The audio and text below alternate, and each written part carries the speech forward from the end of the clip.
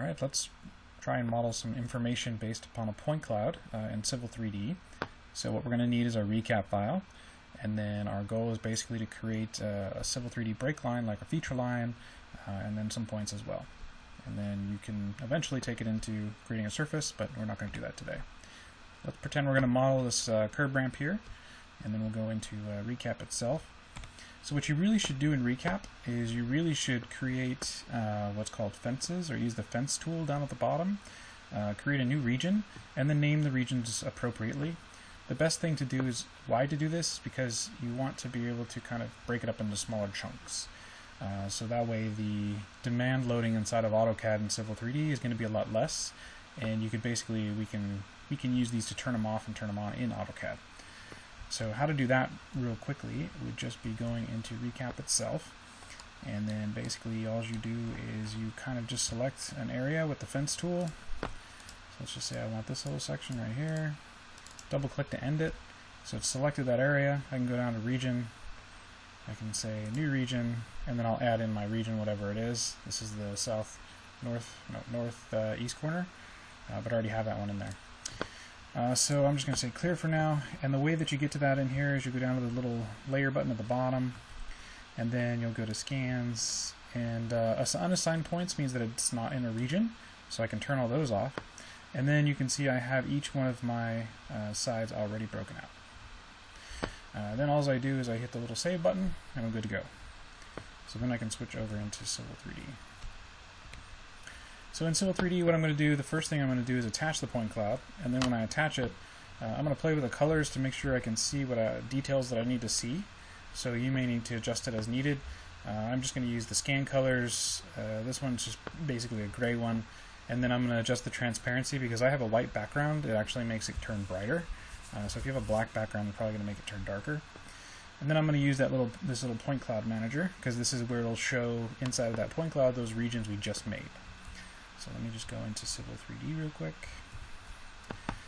And let me make sure I don't have it in this file. Okay, so what I'm going to do is I'm just going to insert um, the insert ribbon. I'm going to go to the point clouds and I'll say attach point cloud. Uh, I'll find the point cloud that I'd like to attach and hit open. Uh, the nice thing about the point cloud tool is it has this zoom to point cloud, so the minute that it puts it in, it will. Uh, this one is not in a coordinate system, so just because I'm going to raise it up 100 feet, uh, because it's minus something right now.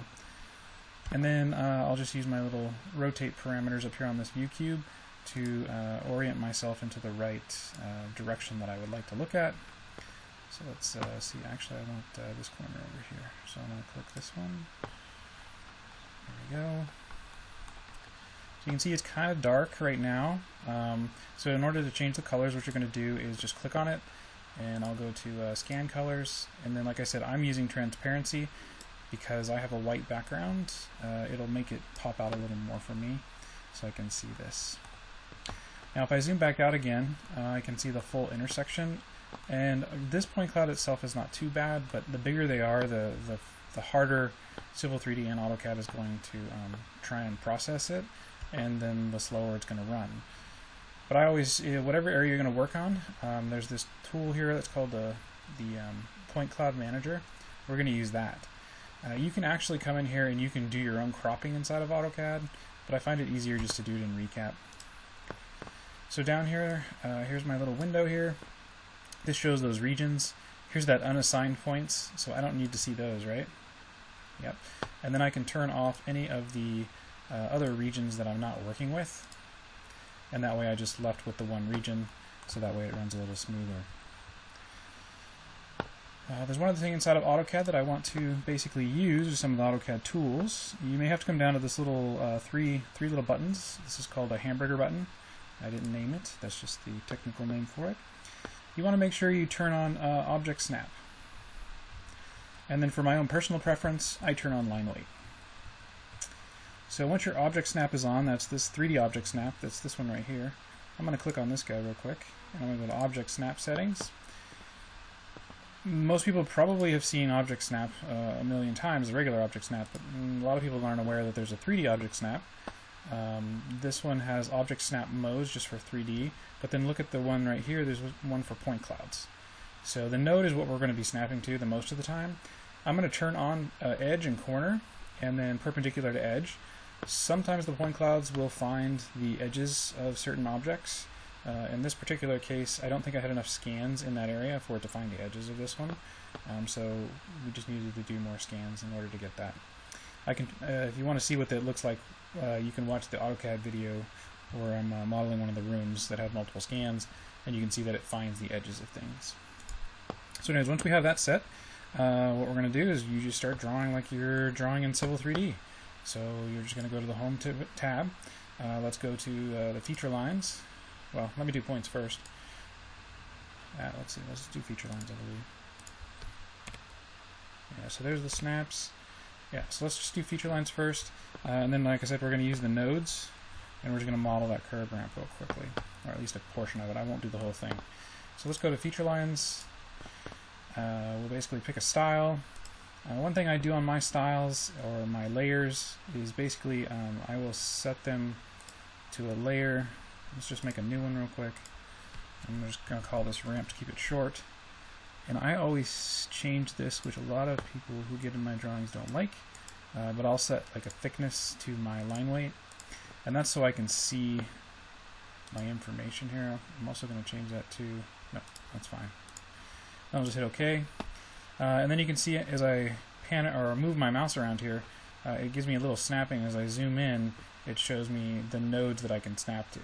And you're probably thinking in your head, well, how do I know which one I'm snapping to, which one's the highest?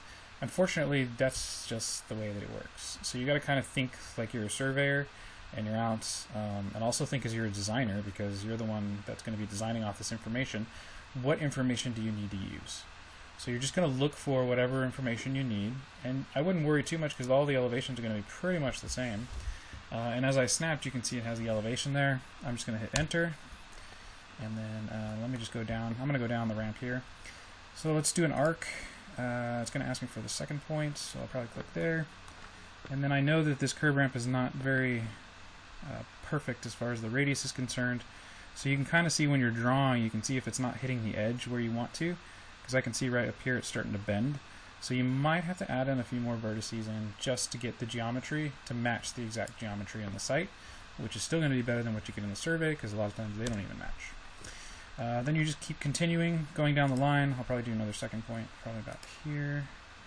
And maybe I'll go down to the middle here. Click on that one. Let's do another second point because these arcs are definitely not tangent to each other. I'll probably click about here confirm that information, do another second point, and let's hit about there. I'll probably go to here. That's probably good. And then uh, let's do one more second point here, just to finish out this curve here to the end of that score line. And that's pretty much it. Uh, like I said, I turn on my line weights, so that way um, I can see the lines that I'm drawing in. Uh, the next portion is what if we want to add, let's say, a point to it. It's pretty simple. The only setting that you probably need to to make sure that you have set in your when you're creating your points is your uh, prompt for elevations, and that way it'll pull the elevation automatically from the node. Uh, so the, basically, you just go to points, you go to point creation tools, uh, you go to point creations, and just make sure that this is set to manual. Then you'll just go manual point, and you just click on where you want to add a point to. And then this is a description, so I don't know, this is my ramp. I'm just to put R.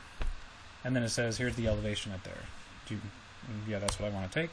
And I hit enter. And then you just keep snapping around until you get all your points. The reason I'm not seeing them on here is because they're, they're down in um, zero. So that's why you wouldn't see it down there. Uh, hopefully this helps. That's pretty much it for the points. Uh, we'll be going through other or uploading other videos to the different softwares. Um, we also have one for Navisworks and a few other ones as well.